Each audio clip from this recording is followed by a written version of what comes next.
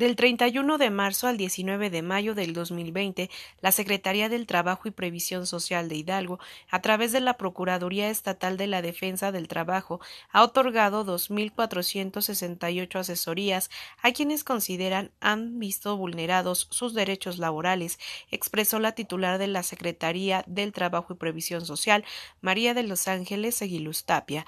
La finalidad de las asesorías es apoyar a las personas trabajadoras y asesorarlas respecto a sus derechos laborales.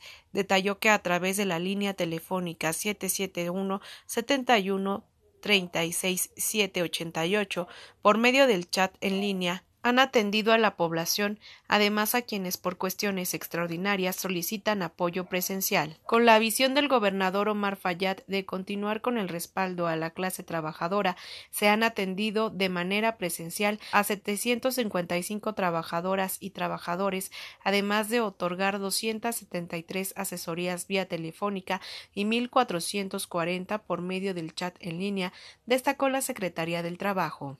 Agregó que el tema principal que abordan las y los trabajadores es el despido, así como liquidación por término de relación laboral, disminución de salario, descanso sin goce de sueldo, entre otros.